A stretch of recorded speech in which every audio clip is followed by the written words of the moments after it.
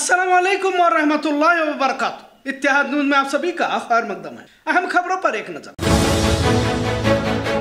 जिसका डर था वही हो रहा है। 2024 के चुनाव नज़दीक आ रहे हैं। फसादात का माहौल बनाने की कोशिश जारी है और आपने भी बारहा देखा होगा कि कैसे मजहबी तशद्दुद को फैलाने की कोशिश की जा रही है। यकीनन उत्तर भारत में जो हालात है, दक्षिण में नहीं है, पर हालात में तनाव लाने की कोशिश मुस्तकिल जारी है। इसका इनकार भी नहीं कर सकते। आज महाराष्ट्र में मराठा रिजर्वेशन को लेकर जालना में फसाद बरपा हुआ तो इसका असर महाराष्ट्र के दीगर इलाकों में भी नज़र आने लगा। इसी दौरान कई जगहों पर आगजनी की वारदातें भी पेश आई।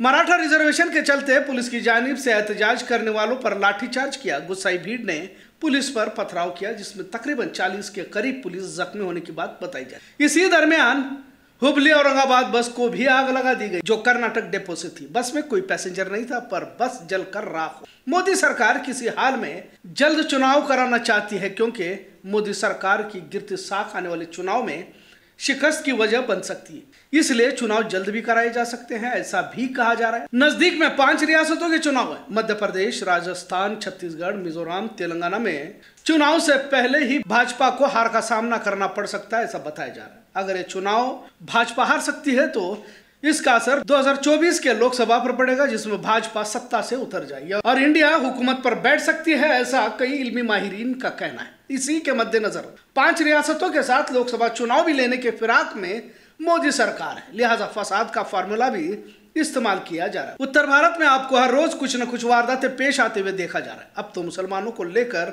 मासूम बच्चों को तक बख्शा नहीं जा रहा उन्हें भी निशाने पर लाया जा रहा है। लिहाजा महाराष्ट्र में मराठा रिजर्वेशन की आग दिगर इलाकों में फैलते हुए वक्त भी नहीं लग सकता। बेलगाम, सरहदी, तनाजा भी काफ़ी पुराना है, ज़रूरत है एहतियात बरतने की। तमाम समाज के जिम्मेदार लोगों को आगे बढ़कर हर शहर में अमन को कायम करने की कोशिश करनी चाहिए। क्योंकि आजकल एक आसान फार्मूला यही देखा जा रहा है कि सियासत का रास्ता इकतदार तक किसी तशद के ज़रिए ही हासिल किया जा सकता है। इतना मौजूदा हुकूमतों को मालूम हो चुका है। अवाम अगर साजिश के जाल में न फंसते हुए समझदारी से फैसला लेती है तो तमाम नफरती गिरोह नाकाम हो सकते इतना ज़रूर है। शिव नगर में रात को हुए कत्ल को लेकर अभी भी चर्चा जारी है। लिहाजा दो दिन गुजरने को आए 48 घंटे के अंदर माल मारुति पुलिस ने कामयाबी हासिल की है। माल मारुति पुलिस थाना इलाके में बीच सड़क पर पत्थर से कुचलकर नागराज गाड़ी गाड़ीवड्डर का कत्ल हुआ। अनजान लोगों ने किया था। इसका सीसीटीवी फुटेज भी काफ़ी वायरल हुआ। लिहाजा तीन में से दो की गिरफ्तारी महज 48 घंटों के फासले में ही अमल आई है। इतला के मुताबिक आशिक माशुकी का मामला कहा जा रहा है। नागराज की माशुका से मिलने एक और आशिक कोल्हापुर से बेलगाम आया था और दोनों के दरमियान कुछ दिन पहले हाथापाई भी हुई थी, ऐसा बताया जा रहा है। वाज रहे नागराज गाड़ी वड्डर के कत्ल की वजह। यही अख्तलाफ बना, ऐसा भी बताया जा रहा है। बेलगाम पुलिस ने महज 48 घंटे में कत्ल करने वाले मुजरिमों को गिरफ़्तार किया। प्रथमेश कस्बेकर, राजारामपुरी, कोल्हापुर। आकाश पवार, राजाराम चौक, कोल्हापुर। ऐसा हिरासत में लिए मुजरिमों के नाम है। अभी भी अहम मुजरिम पुलिस हिरासत से दूर है। कत्ल के महज 48 घंटों में मुजरिमों को सलाखों के पीछे करने वाले मालमारुति थाने के पुलिस महकमा को इनाम भी देने का ऐलान किया गया। एसीपी नारायण बर्मनी सिपाही काली मिर्ची पीएसआई होन्नप्पा ने खास मेहनत फरमाई, जिन्हें मुबारकबाद भी दी जा रही आज बेलगाम शहर रामतीर्थ नगर में इंसानियत को शर्मसार करने वाली वारदात पेश आई। एक बच्चे को खुली झाड़ियों में फेंक दिया गया था। बच्चा अभी पैदा हुआ है और इसे आखिर क्यों फेंका गया मालूम नहीं। पुलिस तफ्तीश जारी है। लेकिन सोच कर यह अजीब लगता है कि आखिर इंसान, क्या वाकई इंसानियत खो चुका है? क्या अभी पैदा हुए इन बच्चों को कोई इस तरह भी झाड़ियों में फेंक देता है? भले वो ज़िंदा हो या मुर्दा, लेकिन इस तरह से फेंकना यकीन इंसानियत को शर्मसार करने वाले वाकया कह सकते हैं। मैं सोचने पर ही रोंगटे खड़े हो जाते हैं, इस दुनिया में कितने ऐसे लोग हैं जिन्हें बच्चे मैसर नहीं होते। आखिर किसी को भी ज़िंदा या मुर्दा फेंकने का हक कौन देता है? क्योंकि ज़िंदगी और मौत का मालिक तो अल्लाह है, और इसी की अमानत है। दुनिया में आने से लेकर मरने तक का सफ़र किसी के भी इख्तियार में नहीं है। जिस तरह फहश हुरियानत का माहौल देखने को मिल रहा है उसी का नतीजा हो सकता है। लेकिन महज कुछ दिन, महज कुछ घंटों का ये बच्चा इस तरह से फेंकना इंसानियत को शर्मसार करने वाला ही वाक्य कह सकते मामला मालमोरती थाने में दर्ज है। अतराफ के सीसीटीवी फुटेज खंगाले जा रहे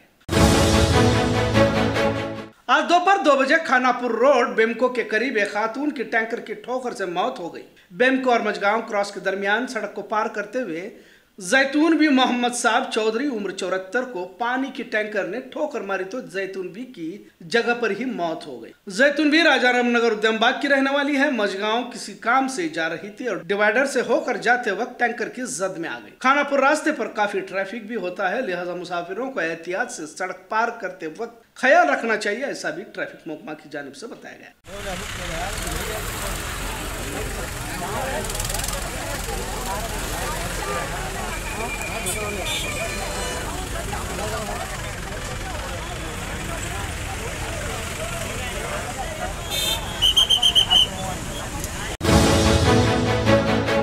आज सुबह गैर कानूनी तौर पर शराब की स्मगलिंग करने वाले ट्रक को एक्साइज दफ्तर में लाया गया। फिर मीडिया के सामने ही ट्रक में से कीमती शराब का जखीरा।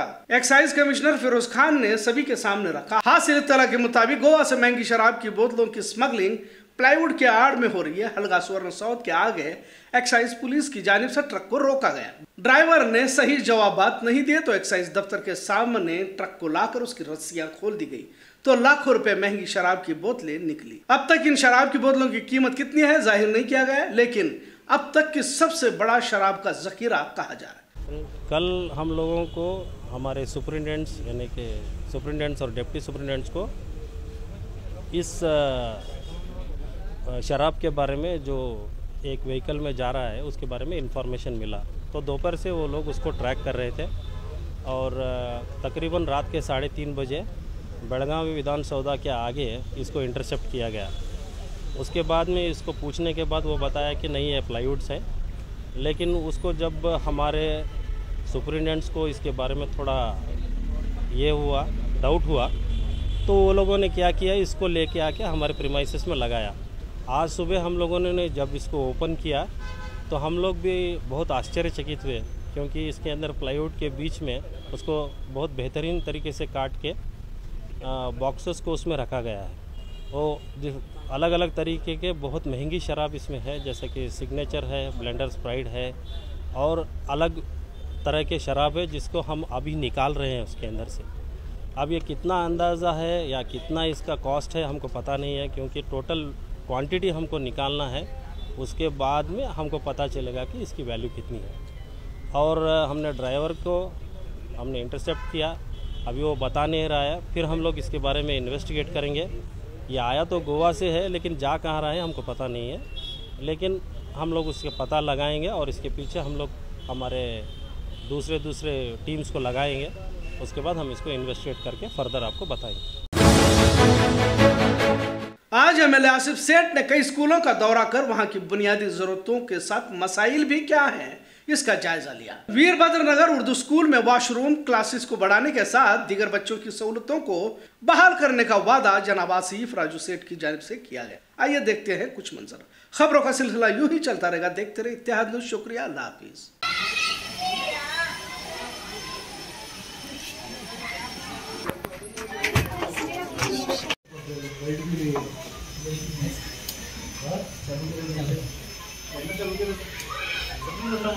आज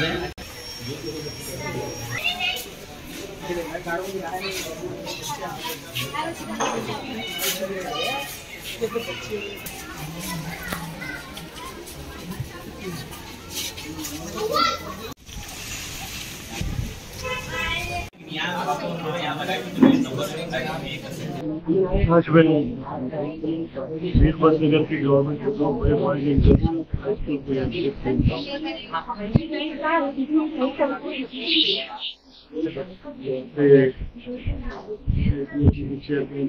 टीचर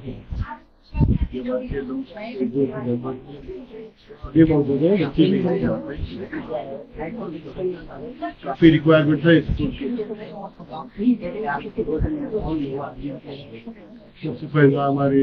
हमारे बच्चियों के लिए बच्चों की ज़रूरत है। या ट्यूजडे आके उसका फाउंडेशन करके काम चालू करा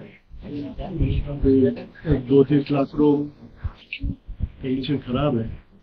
उसको डिमोलिश करके नए क्लासरूम बनाने की कोशिश करेंगे। और यहाँ पे पेरेंट्स का रिक्वेस्ट है कि स्कूल है? टेंथ तक एक स्कूल भी हो जाए। तो